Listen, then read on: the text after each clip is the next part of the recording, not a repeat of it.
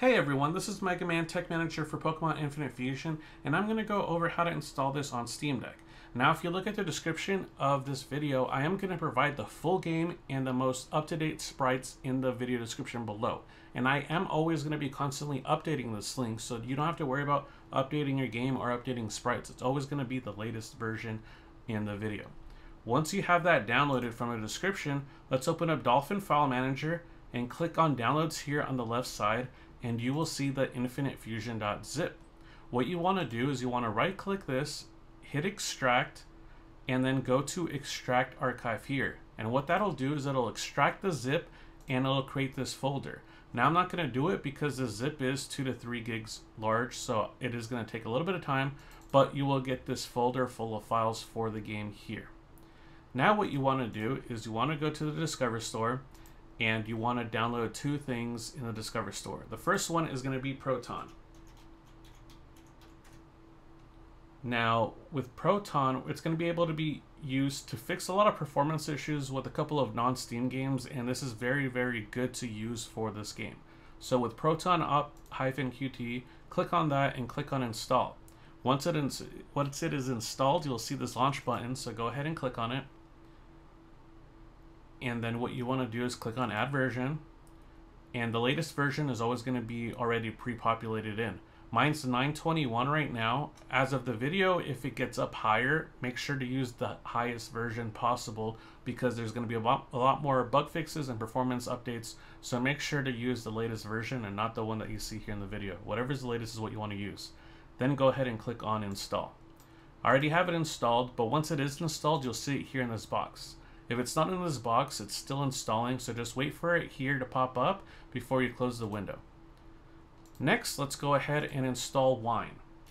Now we need Wine because we want a program that'll allow us to use batch files on Steam Deck. So go ahead and install this, and then afterwards click on Launch. It will go through a first time setup wizard, so just like any kind of setup, just click Next and leave everything default all the way to the very end and click Finish. Um, you don't want to change anything here because we just want all the default values for Q4Wine. But this will allow us to make game updates and pull the latest version of the game. So speaking about that, if you want to make a game update, say there's a new version of the game out, what you want to do is you want to open up your file manager, go back to downloads, go back to Infinite Fusion, then here you'll see installer update.bat. What you want to do is you want to right click that, open with, go to other applications, Go to System, go down to Q4Wine, and this box will open. What you want to do is you want to make sure that these values are pointing to your game folder. Sometimes there is a Steam bug where it will point to the wrong directory to, like, completely. So you just want to make sure right now I'm in my downloads and it's in Infinite Fusion folder. It is Home Deck Downloads Infinite Fusion, and that's what you want to make sure it has on both of these. And the first one here is going to have the installer update.batch file. So once you confirm that, go ahead and click on OK, and it'll start updating the files. Again, the files are always going to be updated when I give them to you, um, so you'll only need to do this whenever there is a future update for the game, which they're kind of far in between. So, um, yeah.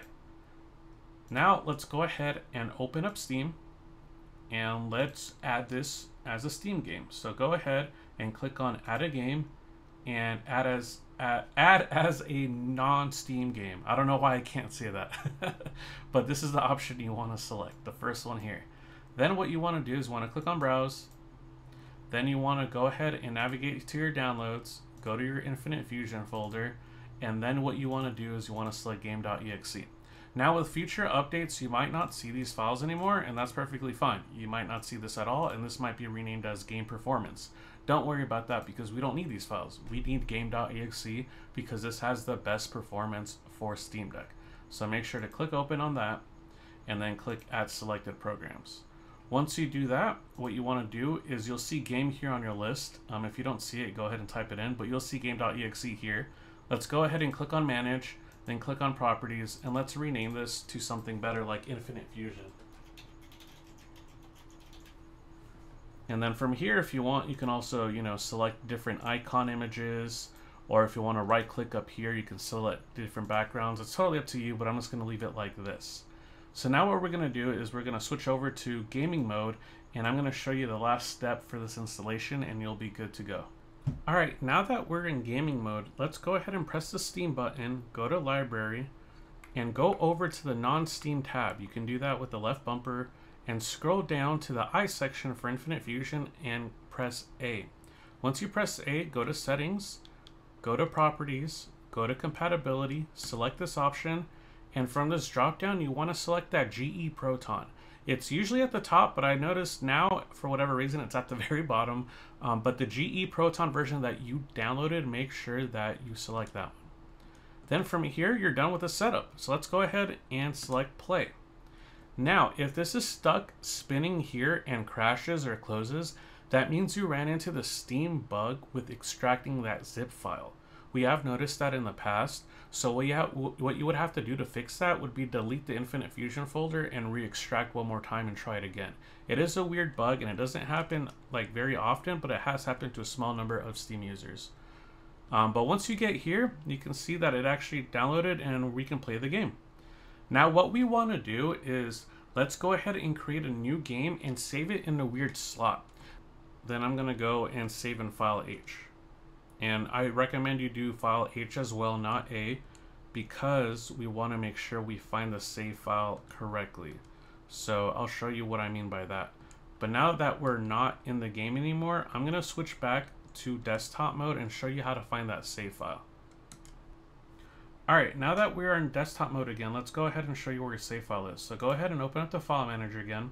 And what you want to do is go to home here on the left side, click deck, and then you want to click on the dot .local folder. If you do not see this, it's because you have this option here of show hidden files unchecked. So make sure this is checked and you will see this dot .local folder. Then you want to go down to share. Then you want to go down to Steam, Steam apps. Then you want to go to compatdata. And then from here, you'll see a bunch of folders. And this is why I recommend using a weird slot because it can be in any one of these folders. And if you have other game RPG Maker games they'll have the same name like file A, file B as the save file name. So by us going to save slot H it makes it a little bit easier to find because I'm sure you're not using slot H for your other save files. So from here click on this button and let's type in file H and hit enter from there, it's going to be looking for file h.rxdata, which that's where our save file location is. So what you want to do is you want to right click that and let's hit open path in new window. And this will link you directly to the file path of where your save files are. So what I recommend you doing is right here, select roaming and you'll see infinite fusion.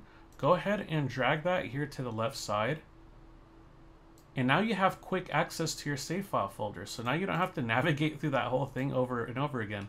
So what you can do is whenever you open up your folder and you want to go to your save folder, you can click on Infinite Fusion here and fire your save files. So if you have save files from PC, Android, Mac, or anything else like that, place them here and the game will get the save file for you. Alright, but that's pretty much it guys. I'll talk to you guys in the next video. See